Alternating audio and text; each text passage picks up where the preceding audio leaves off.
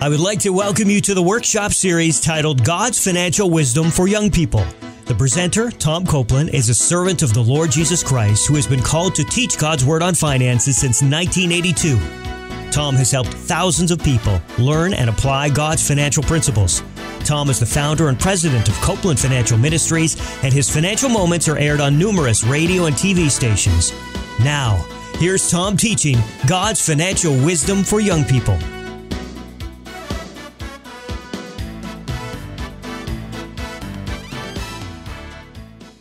I'd like to welcome you to this series titled God's Financial Wisdom for Young People.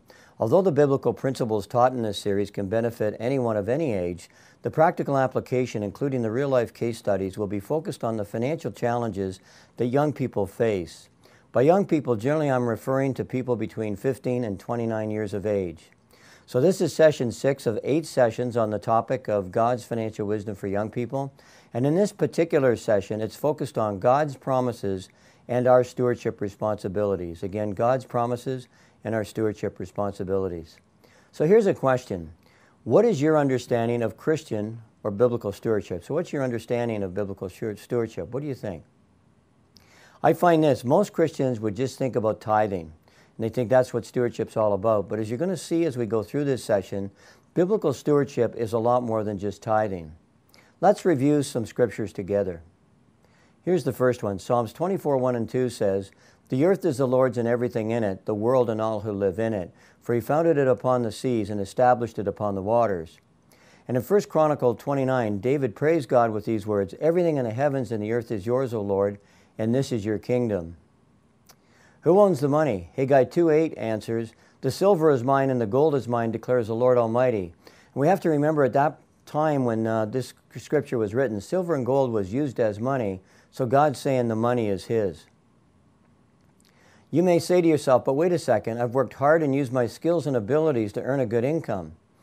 But here's the next question Who gave you your skills and abilities?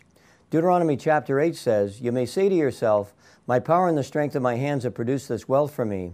But remember the Lord your God, for it is God who gives you the ability to produce wealth. It is God who gives us all our natural abilities, and He gives us the ability to earn a good income, a high income, and to produce wealth. Is there anything that God does not own? God said to Job, and who has any claim against me that I must pay? Everything under heaven, everything under heaven, God said, belongs to me. Job 41 11. So here's my definition of Christian stewardship, or you could say biblical stewardship. I think the key biblical principle is this we are stewards or managers of the money that God has entrusted to us. God is the owner. Everyone is accountable to God, even if you do not have a lot of income. Romans 14 12 states, So then each of us will give account of himself to God. And if you think you own the money and material things you have, wait until a split second after you die. 1 Timothy chapter 6, Paul said, We brought nothing into this world, we shall take nothing out of it. Now, I know as a young person, you may think you're going to live forever, but we don't know that. And it's a good time when you're young to start learning about God's Word on finances. So, more specifically, I'd say Christian or biblical stewardship is acknowledging in your mind and heart that God owns absolutely everything. He owns your money, your smartphone, your car if you have one, your skills, and even your life. 1 Corinthians 6 19. And secondly, use all the assets that God's entrusted to you in accordance with God's principles and God's specific will. So, as a practical matter, how do we fulfill our stewardship responsibilities? Think about that minute. How do we fulfill our stewardship responsibilities? Whether you're young or middle aged or older. Here's um, the three key items I would say. On a regular basis, spend quality time with the Lord in prayer, asking God for His wisdom and His direction in managing the money that God has entrusted to you. In James 1 5 and 6, it says, If any of you lack wisdom, and we all lack wisdom, we don't know the future, we don't know what the best financial decision is because often uh, it depends on future events as well. But it's, the scripture says, if any of you lack wisdom, we all lack wisdom, we don't have God's wisdom, he should ask God, who gives generously to all without finding fault, and it will be given to him. But when he asks, he must believe and not doubt. Secondly, study and meditate on God's word with respect to finances regularly. In Joshua 1 8, it says, Do not let this book of the law depart from your mouth. Meditate on it day and night, so that you may be careful to do everything written in it then you'll be prosperous and successful. And number three, trust God to provide your needs and direct you according to his will. Proverbs 3 5 and 6 says, Trust in the Lord with all your heart and lean not on your own understanding. In all your ways acknowledge him, and he, that is God, will direct your paths. And as you fulfill your stewardship responsibilities, what are some of God's promises? Think about what are the Lord's some of the Lord's promises? Here's, uh, here's two of them. In Matthew 6, 31 to 33, Jesus said, So do not worry, saying, What shall we eat, or what shall we drink, or what shall we wear? For the pagans run after all these things, and your heavenly Father knows that you need them. But seek first his kingdom and his righteousness, and all these things will be given to you. Notice you put God first. God has promised to meet your needs, but not necessarily your wants and desires. I, have seen over the years as I've counseled thousands of young people and people of all ages that most people, including young people, spend money on things that they really don't need. We'll talk about that further in a minute. And in Psalms 32 8, the second thing that God promised is that He would direct us. Psalms 32 8, God said, I will instruct you and teach you in the way you should go. I will counsel you and watch over you. What a promise from the Lord that He's he's promised to guide and direct us. If you look at Psalms 25 12, it says, Who then is the man who fears the Lord? God will instruct him in the way chosen for him. And of course, that applies to men and women. Here's some examples where young people need to discern God's specific will before they make a financial decision, a key decision. First of all, which university or college should, should you attend? Or perhaps you should go into one of the trades electrician, carpenter, plumber. Um, nothing wrong with going to one of the trades. Actually, in our country, there's actually a shortage of tradespeople. So it's, it's good to consider that if that's God's will for you. But which university or college you, you, you attend, or trade school, or whatever, that's where you need to pray and discern God's will. Secondly, should you live out of town or should you stay at home with your parents? Big difference in the cost, whether you live out of town or you stay home, stay home with your parents. Thirdly, should you purchase a car? Um, some young people go out and purchase a car, arguing that they need it, and often they really can't afford it. So you have to assess that involves uh, preparing a budget, and we'll talk about that uh, later. Actually, there's a whole section on budgeting in this series. Um, can you really afford to purchase a car? Not only, I mean, if you have the cash, that's great, and that's the best way to go, but can you afford the loan payments, and then can you afford the insurance, the repairs and maintenance, um, the gas and oil? It, uh, having a car is, is really can be quite expensive. And the uh, next point is you need to discern God's will and get God's wisdom before and in the process of developing and implementing a budget. Um, you need to do that and discern God's will with respect to lifestyle. Uh, often I find young people are they're, they're living a lifestyle that's not realistic and they're doing it on credit cards and lines of credit and they're buying a lot of things and spending money that they really don't need to spend. And uh, it's amazing how much uh, the credit card companies will lend to young people. They have no assets, no job, no income at all uh, but they'll still give them credit cards. As you know, they show up to the colleges and universities uh, quite regularly to hand out the credit cards. And so young people have to be really careful about that. Um, I will also say this when you try to discern God's direction, God will often speak to us through His Word.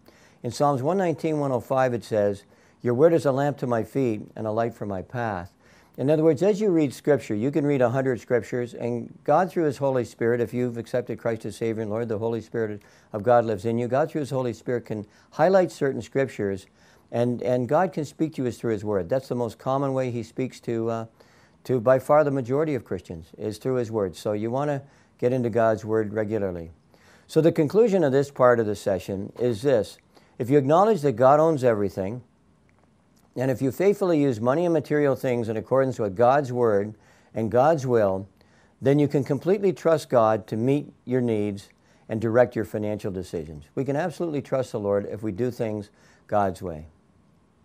I'm a real strong believer in getting into God's word because God often speaks to us through his word. I mean, Hebrews 4:12 says, "The word of God is living and active, sharper than any double-edged sword. It penetrates even to dividing soul and spirit, joints and marrows. It judges the thoughts and the attitudes of the heart."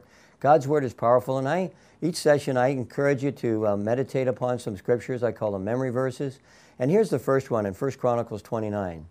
That's where David said, Everything in the heavens and the earth is yours, O Lord, and this is your kingdom. We adore you as being in control of everything. Riches and honor come from you alone, and you are the ruler of all mankind. Your hand controls power and might, and it is at your discretion that men are made great and given strength. And the second verse I'd, I'd, encourage you to meditate upon, it's really simple. You can probably memorize it very quickly. Is Haggai 2.8, where it says, The silver is mine and the gold is mine, declares the Lord Almighty. Remember, silver and gold were used as money then? God's saying the money is His. I'd like to now go through a, a case study. Uh, the names, of course, uh, with all my case studies have been selected at random, but the facts of the case study, uh, case studies that I give, both this, this series and all the series that I do, are real life situations. They're practical real life situations that I've seen many, many times. And so here's, uh, and often people, when they, they watch the show, they can see themselves in some of these case studies. So here's the first case study Bob and Joshua are Christian friends. They are both currently attending university. They both have full time jobs during the summer and part time jobs during the school year. Bob feels that he's worked hard for his money and therefore he has the right to spend it as he wishes. Bob, Bob uses credit cards and his student line of credit quite readily, often to purchase things that he does not need.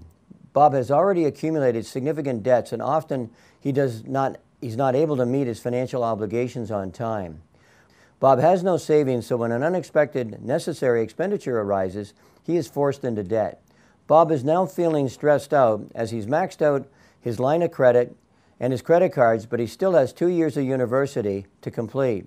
Bob is trying to get additional line of credit and another credit card in order to finance his expenses. Bob generally gives almost nothing to God's work. He feels that this is reasonable because he's a student and he cannot afford to give anything. Joshua, on the other hand, had previously attended a biblical financial study at his church. He learned that he was a steward of the money that God had entrusted to him, and therefore he needed to manage money according to biblical financial principles and God's specific will.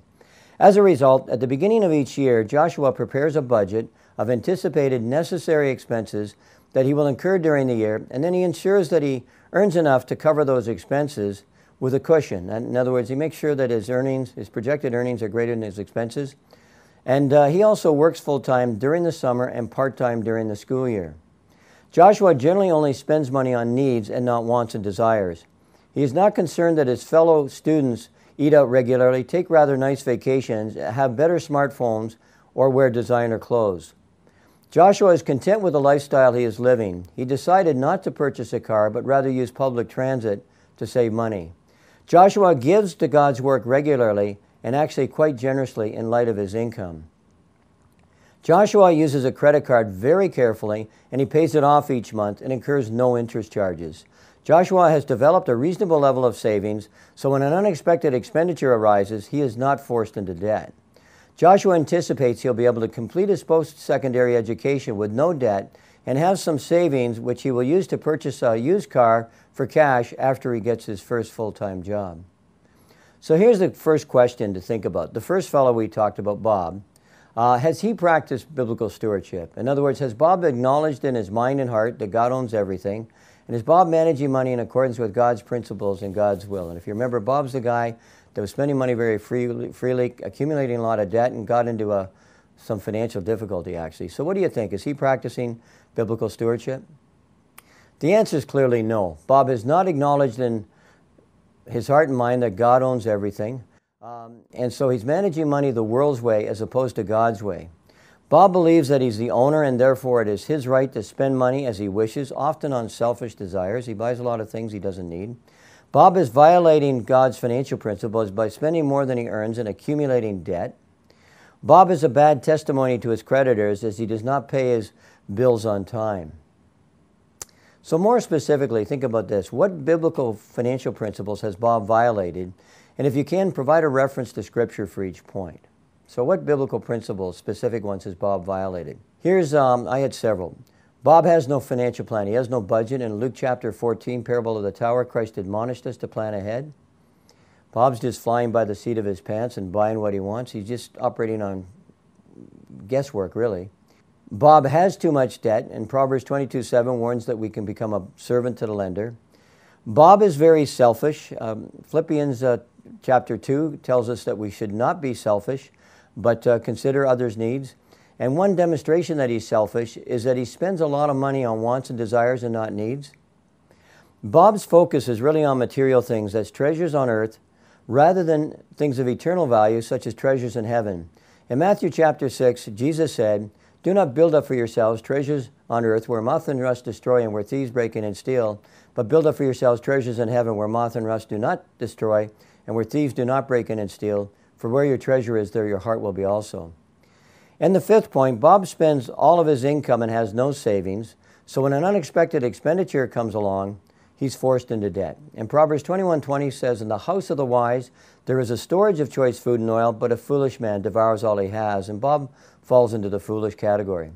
Further, Bob believes he's an owner and not a steward of the money and material things that he's uh, been entrusted to, and that's why he's managing money the world's way. And number seven, Bob does not make any reasonable effort to give something to God's work. The tithe we talked about in the previous sessions, a guideline, it's not a legalism, but he doesn't make any effort to give anything to God's work. And so his excuse that he's, uh, he's a student is not acceptable to God. God directed us. Remember, even in Luke chapter 21, the parable of the widow, she had, um, she had almost no income, and she, she still gave to God's work. Uh, she gave sacrificially. And certainly, young people, students even, can give something to the Lord's work. It may not be 10%, but give whatever the Lord's directed you to do, but don't, don't um, ignore it completely. So here's a question. The other fellow, Joshua, has he practiced biblical stewardship? In other words, has Joshua acknowledged in his mind and his heart that God owns everything? And is he managing money in accordance with God's principles and God's will? What do you think about that?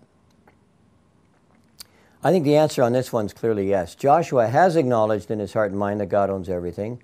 He's managing money according to biblical financial principles, no question about that.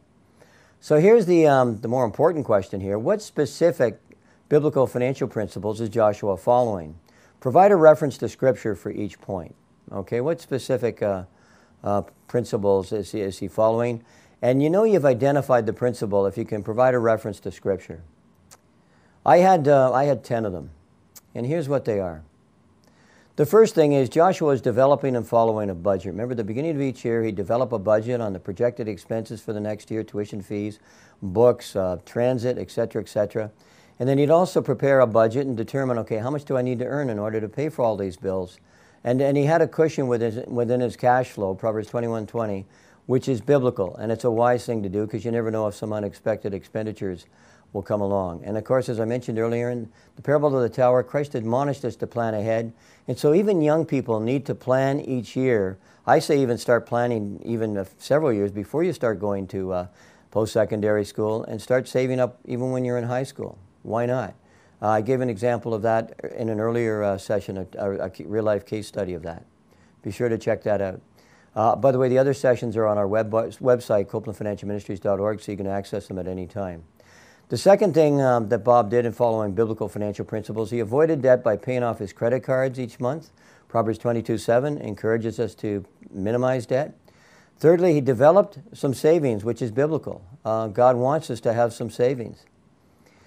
Fourth, he gives he gave generously to God's work. We don't know if it was a tithe or not. The tithe is a guideline, but we know he gave generously in light of his income, and that's what counts. In 2 Corinthians chapter 9, Paul said, he who sows sparingly will also reap sparingly. He who sows generously will also reap generously.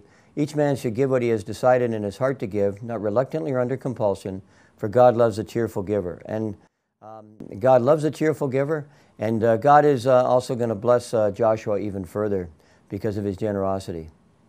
Number five, paying his bills on time. Romans 13, 8 says, let no debt remain outstanding. So by paying his bills on time, he's following that biblical principle in Romans 13, 8 but he's also um, he's got credibility with his his uh, creditors, the people that have loaned him money, or the credit card companies. Well, the other fellow, Bob, he doesn't because he's not paying his liabilities on time. Number six, Joshua acknowledges that he's a steward and not an owner of the money and material things that God's entrusted to him. 1 Corinthians 4 2 said that it is required that those who have been given a trust must prove faithful. In other words, if you have any money at all, you've been given a trust. If you have any time, you have any talents, you've been given a trust. We need to be faithful. Faithfulness to God is the key. Number seven, Joshua is content with a lifestyle that is less than the income that God has provided to him, demonstrated by the fact that he has some savings. 1 Timothy chapter 6, Paul said, But godliness with contentment is great gain, for we brought nothing into this world, we shall take nothing out of it. But if we have food and clothing, we will be content with that. Number eight, God puts his Lord, he puts God first in managing money, and as a result, God has met his needs. And remember in Matthew chapter 6, Christ promised to meet our needs as we put him first, not necessarily our wants and desires. Now, a lot of his uh, fellow young, young people were spending a lot of money like Bob on wants and desires, but God's promised to meet our needs as we put him first, but not necessarily the wants and desires. So you, we got to make a distinction there. The next point, Joshua has no issue with covetousness as his fellow students have more things. When he saw his fellow students, uh, some of them uh, had designer clothes, some of them had a new smartphone, some of them were taking nice vacations, uh, they were eating out often, this kind of stuff. That didn't bother Joshua. Uh, some of them even owned uh, some nice cars. That didn't bother him at all. He just focused on God and doing what God wanted him to do. In other words, his focus was on things of eternal value, not the temporal. And I think uh, one of the key points is Joshua has learned and applied God's financial principles. So when he goes to heaven, Joshua is going to hear the words that we all want to hear when we get to heaven, where God says, Well done, good and faithful servant. You've been faithful with a few things. I will put you in charge of many things. Come and share your master's happiness. That's in Matthew 25 23. Next question. Let's suppose Bob became open to learning God's way of managing money. This is the fellow who was spending, spending, spending, accumulating debt, and getting in all kinds of trouble. Let's suppose he came, became open to learning God's way of managing money. What biblically based uh, advice would you give to Bob? And provide a reference to Scripture for each point. And again, if you can provide a reference, you know you're giving him biblically based financial advice. So I, I think there's no substitute for knowing God's Word on finances uh, quite thoroughly, actually. Then, then you can not only manage money, better and uh, more accurately God's way, and you can give biblically based financial advice to your friends and family members. So, what specific uh, advice would we, which should you give to Bob? I think first, Bob needs to understand that he's a steward and not an owner of the money that God's entrusted to him. Haggai 2.8, 1 Chronicles 29. Uh, he needs to understand that it's not his money. He can't uh, do with it whatever he wants to. He's just managing what God's entrusted to him his money, his talents, and even his time here on earth.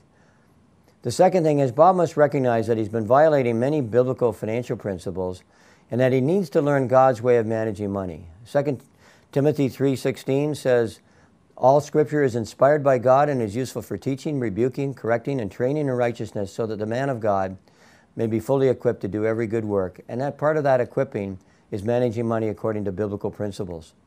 Number 4, Bob needs to develop and implement a budget as Christ admonished us to do in Luke chapter 14, to ensure that he's spending less than he earns so he has a surplus to pay down debt and save for future needs. That's the key. He's got to basically develop a budget, implement it in such a way that he's spending less than he earns, and he's got a surplus each month to pay down debt and save for future needs. Otherwise, he's going to just keep accumulating debt and get, and get further into trouble.